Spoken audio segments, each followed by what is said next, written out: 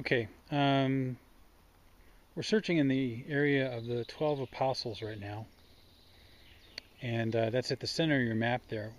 What we've done is um, gone to the northwest of that uh, particular road crossing. So we're there just to the upper uh, upper left where you see the, the parking area and the star, and we're looking through the woods up there. And what we found is, let the camera get used to the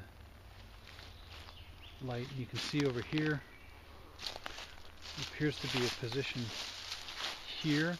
We found some others farther up that direction. And there's one over here,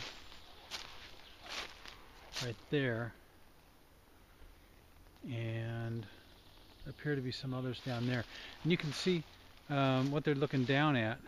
This is that ravine that goes down from the, the 12 apostles goes down to the oh yeah kind of to the north northeast from the, the 12, 12 apostles stones uh, and heads down. And you can see that uh, a platoon put in here would be able to guard the, the crossroads up there at the 12 apostles from this position and look down into that into that ravine. So the search along here for more fighting positions along this area continues, and we'll see what uh, we can find.